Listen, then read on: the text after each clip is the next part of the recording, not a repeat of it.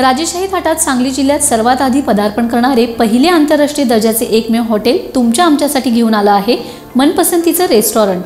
विविध प्रकारच्या आंतरराष्ट्रीय आणि भारतीय खाद्यपदार्थांसाठी दी ग्लास हाऊस शुद्ध शाकाहारी भोजनासाठी Hariyali kitchen. Juice bar juices and shakes. मग रुचकर चविष्ट आणि स्वादिष्ट जेवणाचा आस्वाद घ्यायचा असल्यास इस्टेलिझी विटाला नक्की भेट द्या. सोराडे गावचे युवा नेते तसेच राष्ट्रवादी काँग्रेस पक्ष खटाव तालुक्याचे अनुभवी तसेच कणखर नेतृत्व सुहास पिसाळ यांचा वाढदिवस दहा तारखेला साधेपणाने साजरा करण्यात आलाय.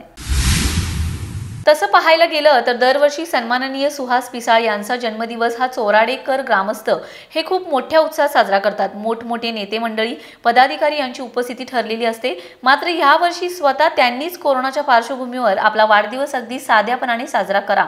असे निर्देश गावकऱ्यांना व मित्रमंडळींना दिलेत. हा कार्यक्रम साध्या पद्धतीने साजरा झाला तसेच दरवर्षी सदर कार्यक्रमाला होणारा खर्च यावर्षी मात्र गोरगरिबांच्या मुलांना शालेय मदतीसाठी खर्च करण्यात येणार आहे हा विशेष निर्णय सुहास पिसाळ यांनी घेतलाय.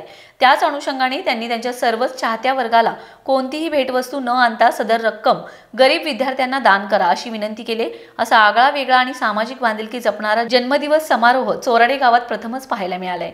यावेळी महाराष्ट्र राज्याचे सहकार मंत्री नामदार बाळासाहेब पाटील कराड उत्तरचे युवा नेते जशराज बाबा पाटील उसेसावळी जिल्हा परिषद गटाचे युवा नेते जितेंद्रदादा पवार यांनी फोनवरून शुभेच्छा दिलेत. करवडी गावचे ग्रामपंचायत सदस्य हिंदूराव नाना पिसाळ रहाटणीचे सागर थोरात पोलीस पाटील देविदास थोरात चोराडे गावचे सरपंच उपसरपंच सुहास पिसाळ यांच्यावर प्रेम करणारे युवक कार्यकर्ते ग्रामस्थ मोठ्या संख्येने उपस्थित होते. Nitin Kulkarni Seven Star News Chorade.